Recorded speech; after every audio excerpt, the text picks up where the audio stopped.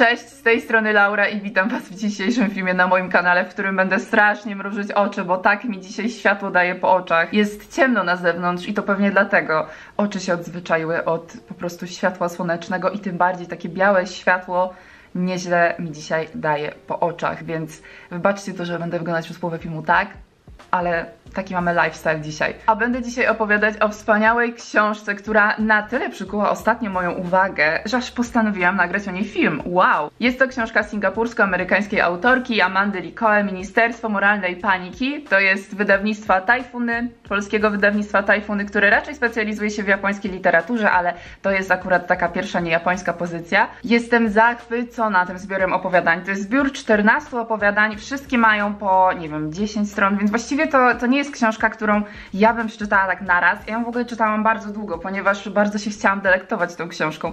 Powiem Wam, że każde z tych opowiadań jest zupełnie inne, a mimo to wszystkie y, gdzieś tam łamią jakieś tabu singapurskie, przedstawiają singapurskie społeczeństwo, ale też nie tylko Singapurczyków, ale różne mniejszości narodowe, które też tam mieszkają i też y, właśnie ta autorka postanowiła rzucić na nie światło dzienne i je przedstawić w tej książce. No i w związku z tym, że jest to zbiór opowiadań, to zastanawiałam się, jak Wam opowiedzieć o tej książce, żeby Wam nie zdradzać tych opowiadań, ponieważ y, to by nie było fajne, tak? Nie chcemy tutaj spoilerować w tych pogadankach na temat książek na tym kanale. Natomiast trzeba jakoś opowiedzieć o tej książce, więc będę o niej mówić tak bardzo ogólnie, trochę Wam opowiem, co tam mi się podobało, y, rzucę trochę światła na kilka opowiadań, natomiast nie będzie to, wiecie, y, taka typowa pogadanka książkowa, która normalnie by się pojawiła na moim kanale. Nie wiem na ile interesujecie się Singapurem i ile wiecie na jego temat. Domyślam się, że mniej więcej tyle ile ja wiedziałam wcześniej, czyli że jest to miasto państwo, jest to gdzieś w Azji, bardzo ciekawe miejsce na świecie, mają ładne lotnisko, które widziałam na Instagramie i to tyle ja wiedziałam. A teraz po przeczytaniu Ministerstwa Moralnej Paniki jest to miejsce na świecie, do którego chciałabym kiedyś polecieć i je zobaczyć, ale nie dlatego, że książka ta przedstawia ten Singapur w wyidealizowanym świetle, że opowiada o wspaniałych gdzieś tam jakichś zasobach kulturowych tego miasta, państwa, absolutnie nie. Jest to książka, która przedstawia różne historie przeróżnych bohaterów. Jest naprawdę bardzo szeroki wachlarz bohaterów, ponieważ każda opowieść jest o innym bohaterze, o innej postaci i są to niewyidealizowane, niewybielone postaci. Jest to bardzo ciekawa odskocznia po przeczytaniu wielu książek fabularnych, w których, wiecie, znacie ten typ. Jest bohaterka, która wie wszystko, która zawsze wie jak się zachować w najniebezpieczniejszej sytuacji i po prostu jest wyidealizowana. Na pewno znacie ten typ, o którym mówię i właśnie tutaj tego nie ma, co jest bardzo fajne do przeczytania dla takiej osoby jak ja, która wcześniej czytała głównie amerykańską literaturę, pomimo tego, że to też jest amerykańska literatura. Amerykańską literaturę młodzieżową wydaje mi się, że na Booktubie to jest e, taki najpopularniejszy typ, gatunek książek, więc e, szczególnie polecam Wam tę książkę, ponieważ jest to książka, która naprawdę ma potencjał Was zaskoczyć i zauroczyć tą szczerością, która po prostu płynie z jej stron. Są to historie o osobach, z którymi możemy się utożsamiać, o osobach, w których możemy odnajdować taką cząstkę siebie, które możemy spotykać na ulicy. Są to bardzo takie bliskie naszemu sercu osoby, które poznajemy przez na przykład 15 stron tej książki, a i tak zapewniam Was, że część z tych postaci po prostu zapadnie Wam w pamięć przez to, jak niewyidealizowane są to postaci i jest to naprawdę Y, wyróżniające się na tle innych książek, które ja czytałam wcześniej. I wbrew pozorom, pomimo tego, że są to takie historie z życia wzięte, historie, które każdy z nas może przeżyć w jakiś sposób, oczywiście odnosząc się do innych kultur i tak dalej, ponieważ tutaj akurat akcja się dzieje w tym Singapurze, więc ta, no jest jednak ta kultura inna, więc może nie identyczne historie możemy przeżyć w Polsce, ale wiecie o co chodzi i to są jednak historie, które w tej swojej codzienności są, ukazują bohaterów, którzy jednak czasami uciekają się do łamania tabu albo uciekają się do e, spełnienia jakiejś swojej fantazji. Czytając tę książkę możemy też się bardzo dużo dowiedzieć o kulturze Singapuru, o takim e, raczej społeczeństwie singapurskim, jak to tam wygląda, co jest tematem tabu, e, jak jest z małżeństwami, jak się traktuje dzieci,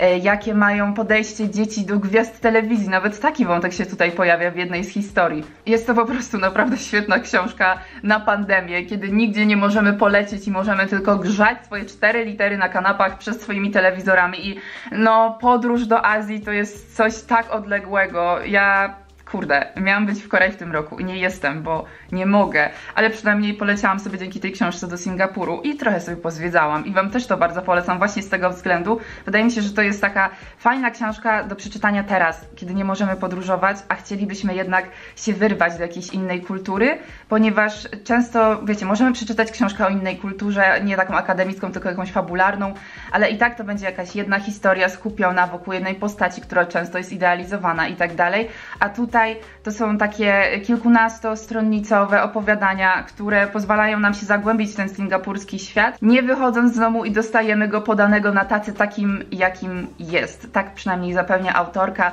i tak też ludzie się odnoszą do tej książki, że ta książka jest po prostu taka szczera i jest taka nieprzesadzona, a jest też bardzo ironiczna momentami w ogóle. W sensie styl autorki jest taki bardzo hmm, specyficzny, sarkastyczny, bardzo mi się podobał.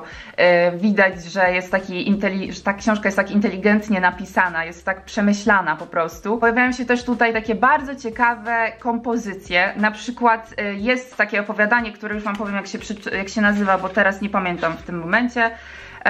Opowiadanie Każdy park na tej wyspie. Jest to piąte opowiadanie w tej książce i jest to opowiadanie, które jest podzielone na nazwy parków, y, które znajdują się na tej wyspie. Jest to też bardzo ciekawe i właśnie tam akcja się dzieje w zależności od nazwy tego parku. Jest podzielona akcja na parki, co też jest bardzo ciekawe i to fajnie się odnosi do y, fabuły tego opowiadania. I te opowiadania są też bardzo, bardzo różne od siebie, one nie mają do siebie nawiązania, są totalnie innymi historiami innych ludzi, co też jest bardzo fajne, jeśli chodzi o taki komfort czytania, bo na przykład ja ostatnio nie mogłam sobie pozwolić na czytanie jednej książki ciągiem, tak wiecie, tak jak kiedyś czytałam bardzo dużo książek w krótkim czasie i jakby to był taki mój sposób na relaks i tak dalej, to teraz czasami nie chce mi się czytać książek, ponieważ po prostu jestem zmęczona ekranem online. I jeszcze skupianie na czymś z roku po zajęciach jestem bardziej męczące, tak przez, wiecie, kilka godzin, żeby tak się rzucić na książkę. I, i wtedy przychodzi mi ta książka która ma, no jest podzielona na opowiadania, więc ja czytam sobie na przykład dwa opowiadania, zajmuje mi to pół godziny i ja się czuję wspaniale i mogę iść spać. Dlatego też polecam tę książkę teraz studentom, ponieważ przeczytacie sobie opowiadanie, poczujecie się lepiej, bo przeczytacie coś, tak? Bo zawsze się człowiek lepiej, człowiek coś czyta, bo to jest takie, wiecie, budowanie swojego ego. Jestem osobą, która czyta książki, bo jak się okazuje, bardzo mało Polaków czyta książki, więc e, czytajmy, czytajmy książki. I właśnie to jest taka idealna propozycja dla osób, które ostatnio czują, że nie mają czasu, żeby, wiecie, zagłębić się w jakąś lekturę, to ta naprawdę Wam się przyda. Ciekawym zabiegiem jeszcze jest to, że nie ma tutaj myślników w dialogach, co na początku było mi trochę utrudniające czytanie, ponieważ jestem przyzwyczajona do no, dialogów, które są wyróżniane myślnikami. Natomiast tutaj tego nie ma i czasami trzeba się połapać co kto mówi, ale jak już się przestawicie, to wydaje mi się to nawet lepszym rozwiązaniem niż te dialogi, ponieważ jest to po prostu ciekawsze, bardziej angażujące w rozmowy między dwiema osobami. No i jest to książka, która też na pewno Wam zapewni chociaż malutką ilość tak zwanego szoku kulturowego, ponieważ no jest to książka, która y, opowiada o kulturze, o łamaniu tabu kultury, która się totalnie różni od tej naszej. Możecie sobie sprawić tę książkę i czytać ją, wiecie, tak nie po kolei. Ja akurat ją czytałam po kolei, bo tak było dla mnie naturalne. Pomyślałam sobie, że może y, autorka specjalnie ułożyła opowiadania w takiej kolejności, żeby je czytać w takiej kolejności, ale jakbyście byli skłonni do tego, żeby czytać je sobie wyrywkowo, to bardzo Wam polecam e, Flamingo Valley, to jest pierwsze opowiadanie, drugie Karuzela i Ford, to jest to dziwne opowiadanie, o którym Wam mówiłam, że bardzo mnie zszokowało i nie rozumiem go do dzisiaj. Jeśli ktoś przeczytał tę książkę i czytał Karuzelę i Ford, to byłabym bardzo chętna do jakiejś wspólnej rozmowy na ten temat, e, co tutaj można wyciągnąć więcej z tego opowiadania, ponieważ było bardzo takie wstrząsające dla mnie. Każdy park na tej wyspie w związku z tym, że to jest właśnie to opowiadanie takiej ciekawej kompozycji podzielone na parki w mieście. Ja na pewno kiedyś będę chciała wrócić do tej książki, żeby ją jeszcze raz przetworzyć, bo wydaje mi się, że teraz, wiecie, mam 20 lat i jeszcze y, wiele z niej nie zrozumiałam tak, jakbym mogła zrozumieć właśnie za kilka, za kilkanaście lat. I jest to właśnie taka książka, którą e, warto mieć w papierze, bo jest przepiękna. Wiem, że teraz jest era e-booków, ale ta, no, ta po prostu okładka przepięknie się tutaj prezentuje i też warto ją mieć w papierze, żeby właśnie do niej kiedyś wrócić. Mam nadzieję, że ten film Wam się podobał. Już zbliżamy się dużymi krokami ku końcowi. I no cóż mogę jeszcze dodać, bardzo Wam dziękuję za oglądanie tego filmu. Mam nadzieję, że zwrócicie uwagę na tę książkę, szczególnie jeśli interesujecie się kulturą Azji, tak szeroko pojętej Azji, ponieważ w tym tej singapurskiej książce jest naprawdę wiele kultur właśnie azjatyckich się tutaj pojawia, ponieważ, właśnie Singapur jest takim bardzo uniwersalnym miastem, państwem, w którym po prostu jest mnóstwo tych mniejszości narodowych i też warto się tym zainteresować, nawet tylko z tego powodu, że po prostu lubicie Azję. I to tyle na dzisiaj. Po raz kolejny mam nadzieję, że film Wam się podobał i do zobaczenia w następnym filmie. Cześć!